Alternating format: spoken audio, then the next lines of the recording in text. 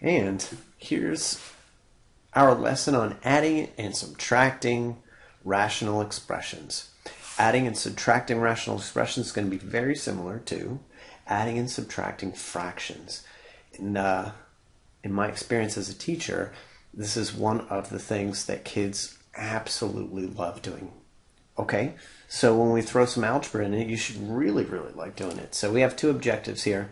First one is to do exactly what the title says add and subtract some rational expressions. And then number two, we're going to deal with something called complex fractions. We're going to simplify complex fractions. It's pretty simple. Uh, like what it is, it's a fraction within a fraction. You can have fractions within fractions within fractions. Oh my. Okay. So um, start off here by warm up 1f, one fraction. Um, just simply add these two fractions. How do you add two fractions? Well, if they have the same denominator, you keep it the same, and you just add up the tops of those. So this should be, just add these up, uh, 4 and uh, 3 plus 7 is 10. Keep the same denominator as 4, and then if you can, you can reduce it. Well, both of these are divisible by 2, so I'd have 5 over 2. And that would be my answer.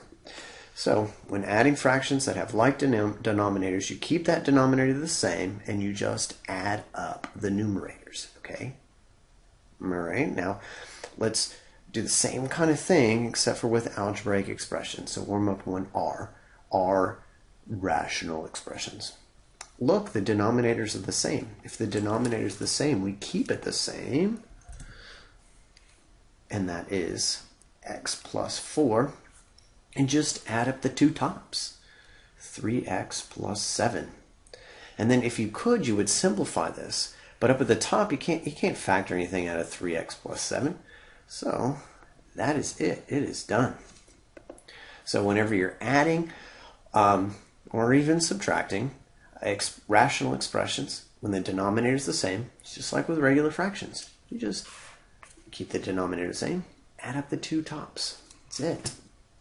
So here's a subtraction problem. On these two fractions, hey look, guess what? They have the same denominator. If they have the same denominator, it's going to stay 25. And now subtract the tops. I got 12 minus 7. Uh, I think that is 5. And that reduces to, 5 goes into both of those, 1 fifth. Okay. So uh, when you're subtracting fractions, just like when you're adding them, if they already have the same denominator, just subtract the two tops. Huh. I, I wonder if this is going to get more difficult, like if the denominators aren't the same. Maybe. Who knows? Let's see. So, uh, something similar. Here we have algebraic expression. We have two rational expressions that we're subtracting. They already have the same denominator. So we keep it the same as x minus 25, so that stays the same. Just subtract the tops in the same order that you see them. So I have 12x squared minus 7x. Now you, you, might think you're done here, but maybe not. Let's just see if I could factor the top. I know I could factor the top because they at least have an x in common, but nothing else. So I pull out the x, 12x minus 7 on the bottom, x minus 25. And if I could, I would cancel some stuff out, but can't. So, really, technically, the first one would have been perfectly okay. So you could could have left it at the first one if you saw that it wouldn't have factored in such a way to cancel out any factors. So when you're subtracting two rational expressions, if the denominators are already the same, keep them the same and just subtract the tops. Hmm, but I wonder what we're supposed to do when the denominators aren't the same. Anyway, that's pretty much what the lesson's all about. So, objective one, going to be able to add and subtract rational expressions, whether the bottoms are the same or they're not. Take a look at this picture. You might be going, why are there a whole bunch of hot chicks, uh, um, lovely ladies on this slide? Well, it's because you can see that every single one of them have the same thing on the bottom. they have the same pair of jeans and they have the same shirt. They have common denominators. So all we'd have to do if we wanted to add up those ladies is keep those those uh, the shirt and the pants the same and just add up their heads. Whatever that means. Okay. So when I'm adding or subtracting rational expressions if they have if they have the same denominator, like denominators, you keep that denominator the same, and then you add or subtract the numerators. Okay, so right down below you see an example uh, with letters, like the actual definition in letters. See the denominator is the same on both of these, C, so you keep it the same and you just add up the tops. If it's subtraction, you keep the denominator the same and you subtract the, uh, the tops. Uh, Mm-hmm. Okay, and an actual example, if, if I look down at the, the very bottom there, I've got uh, 5x squared in both the denominators, so keep it the same and just add up the tops. If you could simplify, you would, but you couldn't on that one. Um, on the next example, x plus 1 is the same on both of them, so subtract the tops. You could factor the top, like uh, there's an x squared goes in both of these, so x squared times 9x minus 1 but nothing's going to cancel, so it was okay to leave it in that first form, right?